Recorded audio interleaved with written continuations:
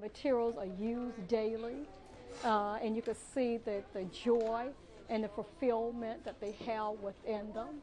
So it's, it's helped a great deal. You know, I enjoy watching them every day use the materials that I have wanted in the classroom for quite some time. I have seen children's self esteem rise dramatically. In giving to the children on an equal basis, it provides a level playing field so not one child is left out.